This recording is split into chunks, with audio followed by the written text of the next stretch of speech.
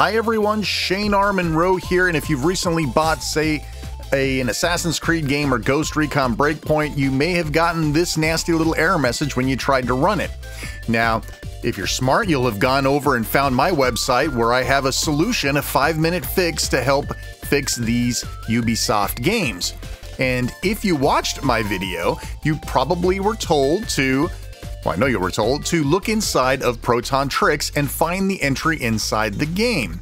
Well, on your Steam Deck, when you run Proton Tricks, you don't get that entry because you installed it on the SD card.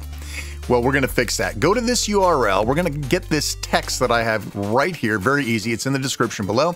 We're going to go ahead and grab that text copy it to the clipboard, Control C or right click and copy. And we will go to KWrite or Kate, whatever you like for a text editor, no big deal. Uh, it doesn't really matter. We'll open a new one and we'll paste that text right in there.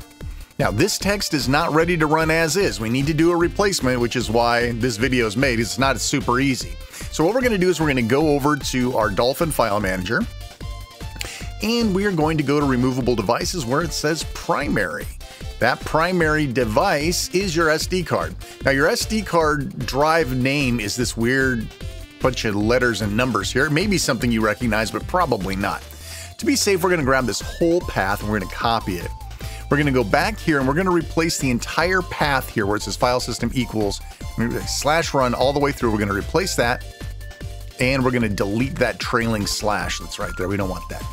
There you go. And there should be a space right after it. Everything looks good. So now we're ready to run this. It is in a usable state. So we'll go ahead and copy again, copy this back to our clipboard. We are going to run console. And then we're going to go ahead and paste it in using the icon. Don't try to hit Control V. It might do some weird stuff and put weird characters in there and hit enter.